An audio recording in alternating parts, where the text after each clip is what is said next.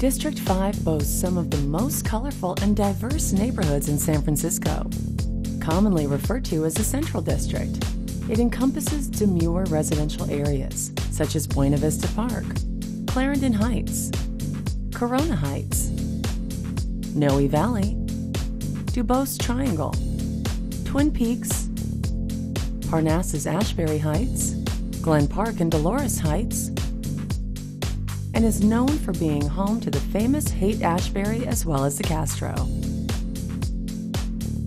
The Central District is in many ways the heart of San Francisco.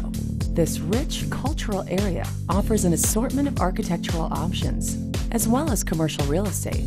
Whether you're looking to start a family or a band, you can find what you're looking for in District 5. Those looking to live in the historic Haight Ashbury neighborhood, once home to Janis Joplin, Jefferson Airplane, and other famous bands and figures of the 1960s, will find a multitude of brightly colored Victorian homes alongside sophisticated and quirky shops. The Castro is the epicenter of the LGBTQ community and culture in San Francisco and also boasts some beautiful and meticulously restored Victorian homes. A thriving area for nightlife, residents can dance the night away at Q Bar in the Midnight Sun or cozy up to a classic cocktail at Aunt Charlie's or Twin Peaks, both local favorites. Enjoy brunch and the hair of the dog at nearby Kate's Kitchen in the Haight or Cafe Flora in the Castro. Other areas, such as Noe Valley, are better known as being populated by young couples starting families. Nicknamed Stroller Valley, it has become a neighborhood popular with young professionals and diverse neighbors. Other areas of note include Buena Vista Park, the oldest public park in San Francisco. On the 4th of July, all of the fireworks shows from San Francisco to San Jose are visible from the rocks of Corona Park. Bring a blanket, pack a picnic, and enjoy.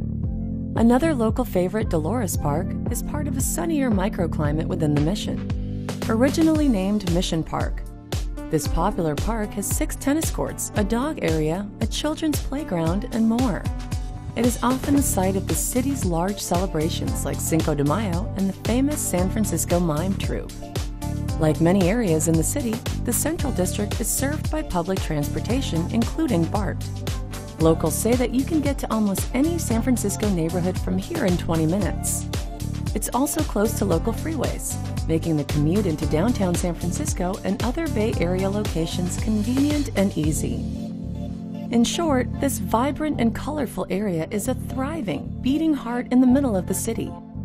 Enjoy nightlife, culture, a fascinating history, and a variety of beautiful homes.